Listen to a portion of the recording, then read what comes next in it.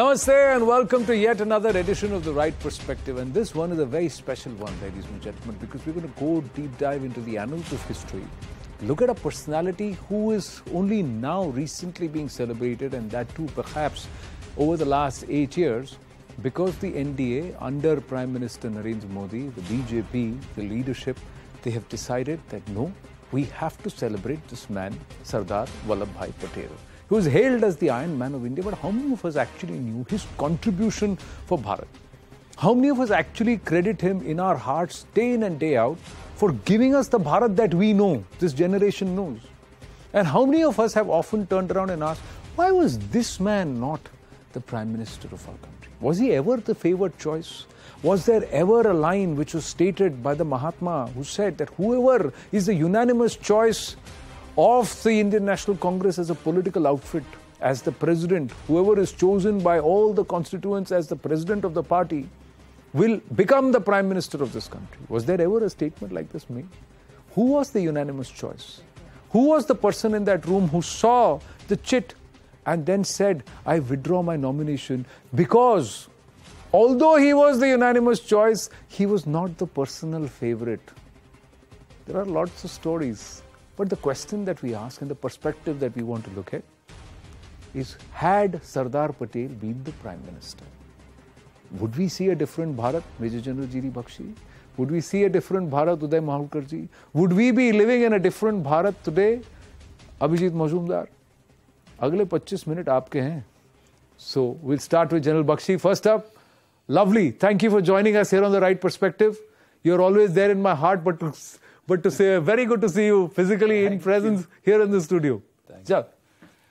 Uh, you know, there is a dire need today to take a, a objective look at the history of our freedom struggle. You know, in 2007, the the transfer of power archives were declassified in London. Now, Bipin Chandra Pal and all these historians, you know, court historians as I call them, which they, which uh, they deserve, right? They have compiled that history without going into the official classified documents that had been released about the freedom struggle, and they tell you an entirely different story. And it's about time we come to terms with the truth. 75 years after independence is one hell of a long time, and we still haven't come to terms with the truth. The truth is that the only people that the British actually feared was Netaji Subhash Chandra Bose and the INA. 2.5 million Indian soldiers were being demobilized after the war, and it, they were totally infected. They were totally, you know, uh, mesmerized by the personality of Bose, by the sacrifices of the INA. Ni- November, December 1945, the trials had taken place. Dhillon, Sehgal, Shah Nawaz, Lal Kile se Ai Awaz, and there were riots all over the country. Police opened fire, they won't stop. You know, I have had a look at the transfer of power archives. We had sent Dr. Kalyan Day to London. He spent six months on the transfer of power archives, photocopied them, brought them here. We all sat in a team in the Netaji, this thing, and we studied them. And you know what we were astounded to find was that February 1946, there was the revolt in the Royal Indian Navy, right? And uh, just prior to that, you know, Field Marshal uh, uh, Auchinleck was then the Commander in Chief India. Wavell was the Viceroy. He wrote to him and he said, and this was in December 45, he said, any time now we can expect a minor revolt to break out. The major revolt we are expecting in 45. We got 40,000 Goras hmm. and we've got and we've got 2.5, 25 lakh Indian soldiers who fought the Germans, who beat the Japs, who beat the Italians, and they are angry. Hmm. Right? It would be in our interest to get the hell out, you know, with our honor and integrity intact hmm. while there is still time. You know? Hmm. And they had drawn up plans. They had drawn up plans for a Kabul like evacuation, flying out from Delhi, flying out from the major metropolises, from shipping out from the major ports. The British Army, Goras would hold the outer cordon while the women and the children were flown out. Right. This is in writing. Hmm. This is in writing, hmm. right? And that is the time when Nehru had become the darling of the British establishment because he had said, if Netaji comes with the Japanese army, I'll take a sword and I'll fight him personally. And thereafter, you know, after the Quit India movement, when Gandhi had disregarded hmm. the advice of the Congress Working Committee entire and said, we will go for this under persuasion of Bose, hmm. who was in contact with him, hmm. right? That is the time. Thereafter, the British dispensed with him, hmm. right? Nehru's stock rose. They used the moral authority of Gandhi to have Nehru installed as their preferred Anglophile prime minister who hmm. would act as the rear guard of the empire. His first step was to anoint Mountbatten as the first Governor General of India, whereas Pakistan had the decency to appoint Jinnah, a Pakistani, as the first. So the Pakistanis stuck to their ilk, and they, but we were somewhere, like you said, an Anglophile. Uh, uh, uh, now, in this case, where was Sardar Patel amongst all of it? And in the 40s, there was lots that was happening. So you are somebody who's a Bose. Uh, uh, and Mission Netaji, who you've looked at Bose. You're somebody who studied Savarkar and you've dove, dove there. Somewhere, Sardar Patel is common to both. Absolutely. A- a- yeah, a- a- and he is somebody who's, who had the thumbs up from everyone. But he was not there in that seat where perhaps India wanted him. Your question, original question was that where India would have been had he been the prime minister. Yes. You see, this the phase which India is seeing today is a phase of national reawakening. Hmm. 370 removal of 370 Yeah. is national awakening, part of that process. Ram Mandir, part of that process. Correct? Hmm. Now, when India became independent, the ground was ready for what has happened now, after 60 years. Because our great saints, Swami Vivekanand, hmm. uh, Dayanand Saraswati, Maharishi Arvindo, hmm. Swami Paramananji of Bharat Seva Ashram Sangh, these saints had prepared the ground. But Godse killed Gandhiji, unfortunately. And those who were not rooted in our culture, and in them, amongst them were even pan-Islamist elements, who were using them to, to, uh, to thrust their pan-Islamic agenda on the nation. So India would have been in a India would have been a superpower today. Had Sardar Patel been the prime minister, he foresaw the uh, China problem along with Savarkar. Correct. So Sardar had Sardar Patel been the prime minister, India would have been a superpower today, even economically. Let us look, look- go uh, in uh, in another direction. You know. You see, the India's caste system Right. had its own perversions, no doubt. Correct. But it has it had got a lot of strength also. You know, if there is a carpenter, his family into carpentry is into carpentry for the last one thousand years. Iron Smith, he's into iron smith work for the last one thousand years. So the outsourcing model, you know, uh, from which India is benefiting now, it could have benefited that time also. But we created a model where it became fashionable to become a BA and BCom, where we should have capitalized on our skilled uh, uh, talent. Hmm. While encouraging those who wanted to move out of skill to also become academic. Certainly. Yeah. So, uh, had, had we tied up with the Western countries at that time, we would have, would have economic also would have been very strong. And I think had Sardar Patel been there, he would have certainly taken this route. The way he developed the cooperative movement, he knew the strength of this country. It shows very clearly. Yeah. So I think Sardar Patel not becoming the prime minister is the greatest tragedy of independent India. And I think uh, father of the nation also has to take some part of this blame because because uh, almost the entire party was in favor of Sardar Patel. Yeah. That chit had his name, didn't it? Yes. And I mean, there is no answer to this blunder, you know, how it happened. So India has been a loser hmm. in a very big way. It had to wait for 60 years. And even some of the problems which have, they have left behind, like the, the like the problem of uh, Hindu-Muslim harmony. Hmm. The, the Wahhabi movement today, and in that the ultra ultra Wahhabi movement has has developed only because of Congress's policies in the first 60 years. Hmm. The, here does it come, Abhijit, if I were to say. And this would not have happened had, had Sardar Patel been the prime minister. So Hindu Muslim problem which you see today at some level is also because of uh, Sardar Patel not becoming the prime minister. Not becoming the, there, there are many things. Somebody who could combine more than 700 riyasats to give India the shape uh, that is, should showed a certain will, certain understanding.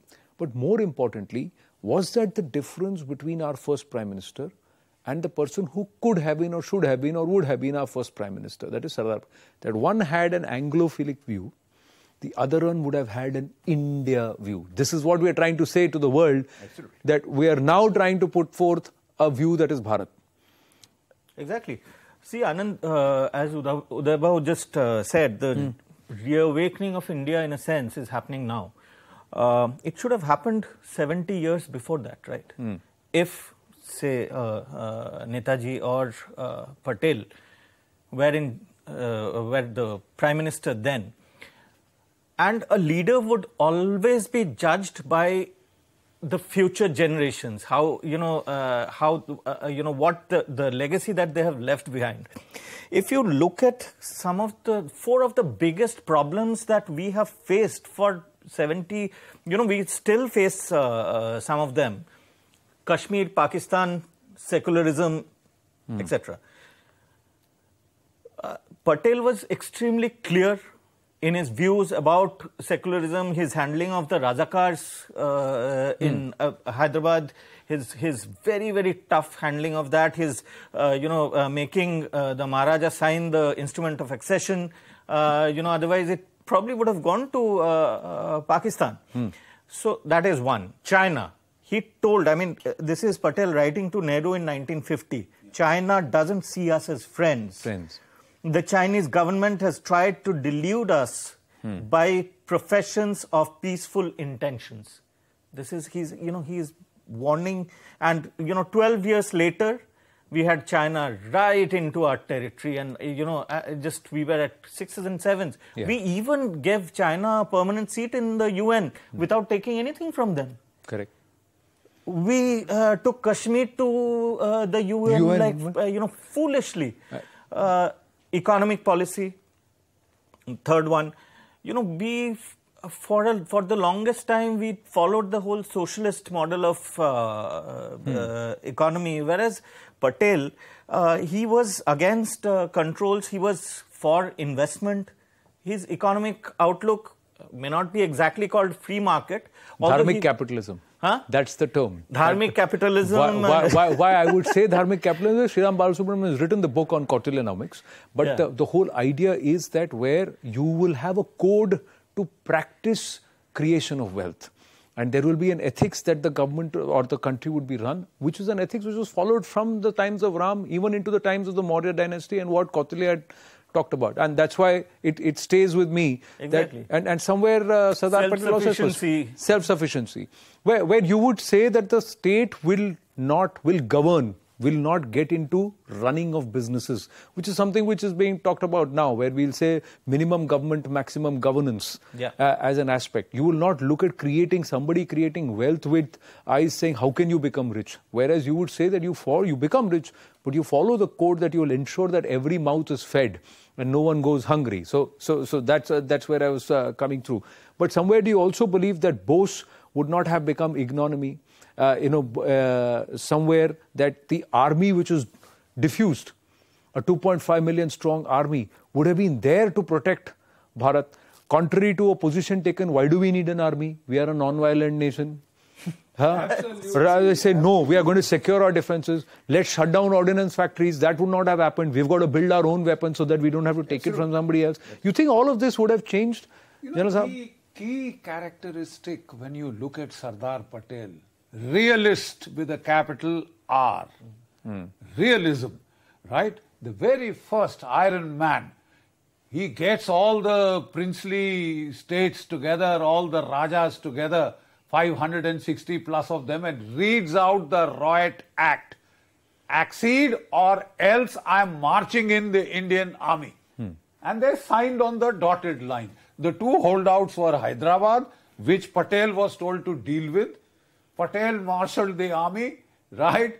Gave them clear cut orders to go in, and five days the Nizam's joke was over. The Police Nizam's action. and his, you know, Razakars and everybody were up with their hands up, and uh, Urdus and the other. I mean, they had just surrendered five days. Uh, one of the first blitzkriegs launched by the Indian army, you know, which they would follow up in 71 in Bangladesh, 13 days, then five days in Hyderabad. It was all khalas, it was over. That is the realism of Patel. Now, I want to quote to you, you know, the 47, 48 Kashmir operations were talked of. Sam Manekshaw, hmm. the inimitable, irrepressible Sam, he had recounted this to Prem Shankar Jha. Sam was sent. He was in the military operation directorate. I had the privilege to serve there. He was sent to J&K to evaluate the situation and to give to the whole cabinet. Then, of course, uh, Mountbatten was in the chair. We had Nehru, we had Patel, we had uh, the defense minister, and they were all there. And uh, he said, uh, Manik ji, you know, he, he. He said, give us an update on the situation. So thereafter, Manekshaw reports, he gave an update that we'll have to fly in our troops immediately. Srinagar is about to fall, right? Now, uh, I'm just quoting to you, you know, Sam's own words. He says, you know, when he was asked, you know, uh, Mountbatten looked at Nehru. So he said, uh, uh, Nehru talked of UN, Russia, Africa, God Almighty, everything until Sardar Patel lost his temper and snapped. Jawahar, do you want Kashmir or not? He said, Of course I want Kashmir. Then, then give your orders. He started off again on another tirade on the United Nations, world peace, harmony, this, that, and all. Sardar Patel cut him short. He turned to Sam. He said, There, you have your orders. Move. this sums up the personality of the Iron Man. Yeah. And If he was not around Sardar taking. Patel- he was somebody who was against 370, wasn't it? Becoming the prime minister had long-term reper- repercussions for the country. Let us take the 65 war. 65 war, of course, Pakistan had some advantage in uh, uh, Kashmir, you know, but then we were just inside Lahore, almost. Correct. I think the Raj regiment was only, I think, 12 or 13 kilometers away. First day we had crossed And, the and we, ex- you know, uh, uh, uh, Lala Babu Shastri was a, a great leader. Yeah. But then, not in the class of uh, Sardar Patel, you know. And he accepted ceasefire. And next day in Tashkent, he gave back. Hmm. 71 war, when Mrs. Gandhi divided Pakistan into two parts. Huh? We thought that there is another Sardar Patel or Savarkar or Netaji Bose who is born, you know. But hmm. then in the Shimla agreement, we turned all, it, it, it, it, All it proved wrong, you know. back, yeah. In, in Shimla agreement, we were holding 93,000 Pakistani soldiers as, as captive. Hmm. Yet we could not take back POK. Was, was that On the contrary, we had won three Hindu dominated uh, uh, tehsils in Sindh. Huh? We gave them back. And the, the Sindh Hindus who had helped us, some of them, they got so scared that it triggered a migration of 1 lakh Hindus from Sindh in the, after the Shimla agreement. Shimla agreement. So, I mean, it had long term repercussions. repercussion. Do, do you think the, the political narrative itself would have been different, Abhijit Majumdar, had Sardar Vallabhbhai Patel been not just president of the Congress party? First, he would have been president of the Indian National Congress. Then he would have been prime minister. Because the deal was whoever is elected the president of the Indian National Congress will become the No, a lot of people say Prime Minister that this is very country, hypothetical because he died in 1950. But he would have laid a foundation, you know. That is what I want to say. And and somewhere we don't know how things would have uh, turned. But I'm just saying the three years where he set the narrative for India in terms of the map and landmass, would he have also set the political narrative? Would he have changed what became perhaps the Nehruvian ethos to a different kind of politics that was followed? Would the Garam Dal would have been, uh, you know, that kind of a perspective which uh, which decided against India being secular? which said that India will be a sovereign democratic republic. I have the copy of the constitution, the original reprint. There is no secular, no socialist there. Absolutely not. It, there is there is Ram, there is Buddha, there is Hanuman, there is Krishna in the directive principles and fundamental rights. That, that's the constitution which perhaps would have been championed by uh, Sardar Patel. No, uh, obviously, I mean, after so much of Constituent uh, Assembly debates, if they uh, if they did not find merit for words like socialist or secular, there must be a reason. Uh, yeah, there must be a damn good reason. But most importantly, Anand, if uh, Sardar Patel were to become the PM, India's political culture of, uh, for a long time it uh, continued, of rewarding dynasty over, over merit, hmm. over this uh, entitled Lutyens class, would probably uh, not have uh, crept in uh, over the decades. And uh, I, you know, in my opinion, it started, I think, uh, uh, to, 1929 or 31 Lahore Congress when, you know, the hmm. baton passed on from Motilal to Jawaharlal hmm. of the Congress presidentship. And that was because Nehru felt so indebted to Motilal because he was bankrolling a fair bit of hmm. Congress activity and uh, you know that's how the whole thing of dynasty over merit it you know nehru really did, was not supposed to be the first uh, PM of India. Hmm. In fact, Netaji Subhash Chandra Bose was, uh, you know, uh, uh, the first PM in exile. PM in exile. But I'm just saying, would you have, would we have had a scenario where we would have had a Bose, uh, an Ambedkar, Nehru, all part of this cabinet under the leadership of Patel. Sardar Patel, and would the narrative have been different? General Bakshi. Absolutely 180 degrees it would have been the other way. You see, a statesman, founding statesman at that, has to have vision. Nothing exemplifies Sardar Patel's vision. He alluded to that letter, 14th November 1950. Patel writes to Nehru. He says, Our security scenario is transformed. Tibet was a peaceful buffer Today the Chinese are sitting there. We are in a two-front scenario. Yeah. This is the prophetic words of Sardar Patel.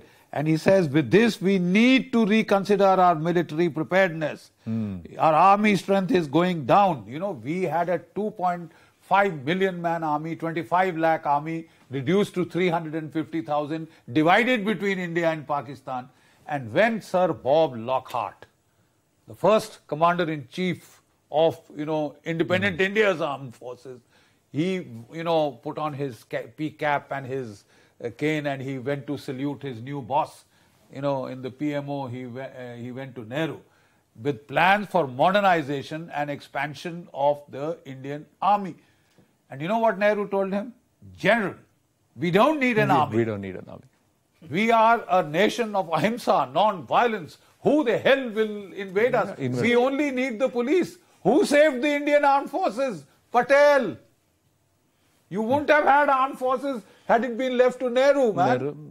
One single thing which you believe Sardar Patel would have done, which perhaps would have had the long term uh, ramifications 75 years when we stand up today, had Sardar been the PM? One single aspect which stands out. I think for uh, what he is known and, uh, uh you know, under the uh, sobriquet that his statue stands, unity. Hmm. You know, India would have been a far more united uh, nation with clarity on you know conceptual things like Islamism without you know this uh, woolly uh, idealism blinding our uh, vision, uh, etc. And uh, you know we would have sorted out our relationship with the world a lot better if Sardar were the PM instead of Jawaharlal Nehru. Nehru. General Bakshi? You know, like I was saying, what stands out is his statesmanship, his realism, his vision. In that same letter that we were discussing, 14th November 1950, you know what was one of the recommendations? We need to improve the infrastructure in the Himalayas. Right? you are doing it today. Today, 75 years later. 75 years later. Look at that the, the, the, the, you know, the very depth of his vision. He had looked far ahead and he had said, look, you need to improve your infrastructure.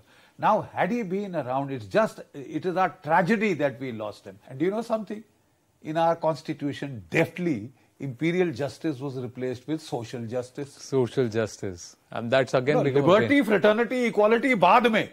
We give to ourselves social, Social justice. justice. So, you know, Nehru was installed here as the prime minister through Gandhi, you know, to carry on with that imperial justice tradition. Here is an Anglophile, guy Eton, Harrow, Cambridge educated, family cut above. Oh, they're not Hindus. They're not uh, Indian, you know, low-down creatures of the empire, white They're elites. burden. This is a family designed to rule. The British left, the empress left, the emperor left. Now a new emperor of India, a new dynasty of India. This is what would not have happened. India's foreign policy would have been in place. Hmm. Security vision, vision would have been in place. Internal problems, internal problems like Maoism, your Hindu-Muslim problem, problem of Wahhabism, ultra-Wahhabism would, won't have been there. And I think, I am convinced that had Sardar Patel become the Prime Minister, it would have, India would have become a superpower today. Hmm. And, and would have been close to becoming a Vishwaguru also. So we would have already lived through our Amrit Kal and we would have reached to that end point where we I- have I set the so. roadmap now I think so. for the next Because 25 In the last eight years, the kind of work which has been done. Hmm. Uh, now, when the Prime Minister says that India, where will India stand in 2047? I believe it. Hmm. So we wasted 60 years. What, Correct. what, what has uh, instilled hope in us is just work of eight years. So there, there are so many aspects. Had this happened, this could have happened. But with this one man, Sardar Vallabhbhai Patel, you want to keep going back and saying, this man's vision, had we had just even three or four of year, four years, and you never know, had he been the prime minister, he may have lived longer, he may have continued. We never know. But right now, what could have happened is sometimes a, a, a good way to remember this man who stands for unity, and that is Sardar Vallabhbhai Patel. To all my guests, thank you very much for bringing us perspective. Always a pleasure speaking. Thank you. Thank you so much.